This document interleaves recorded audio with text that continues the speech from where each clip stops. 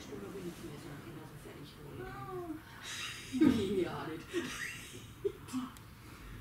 Dann haben wir ja keine Vorkarten gehabt. Ne? Wir sind ohne Vorkarten in den Zug gestiegen, haben immer kleinen Schatten gestanden, sind wir auch keine Vorkarten in Braun am Wochenende gehen.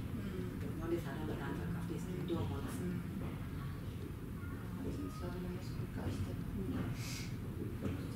ist damals.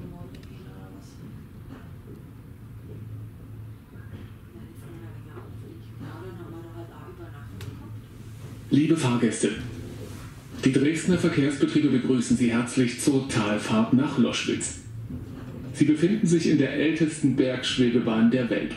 Pflege und Erhalt dieses technischen Denkmals liegen uns besonders am Herzen. Wir hoffen, Sie sind ebenso wie wir von unserer Schwebebahn und ihrer traumhaften Lage am Elbhang begeistert. Die Bahn wurde im Mai 1901 nach nur zwei Jahren Bauzeit feierlich eröffnet. Nach über 100 Jahren meistert sie die 274 Meter lange Strecke mit 84 Metern Höhenunterschied immer noch mit Bravour. Mitte des 19. Jahrhunderts brachten die andauernde Monokultur und die Reblaus den jahrhundertelangen Weinbau an den Elbhängen vollständig zum Erliegen. Den Gutsbesitzern blieb nichts anderes übrig, als die Grundstücke zum Verkauf anzubieten.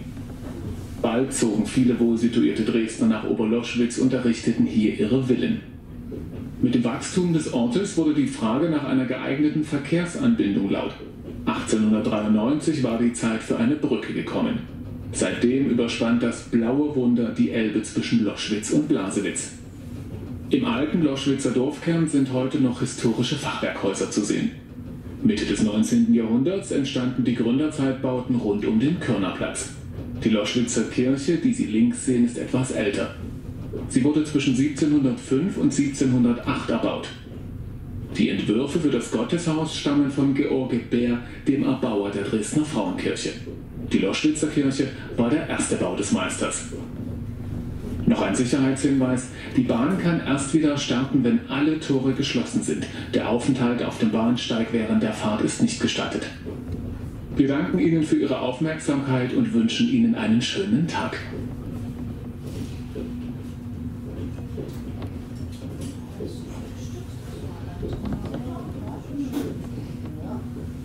has one.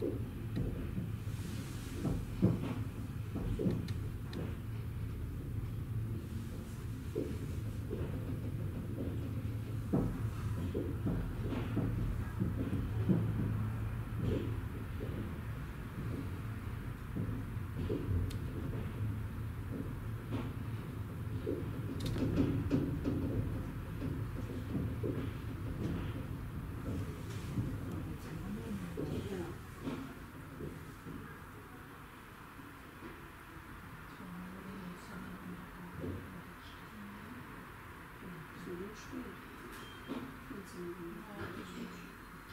you.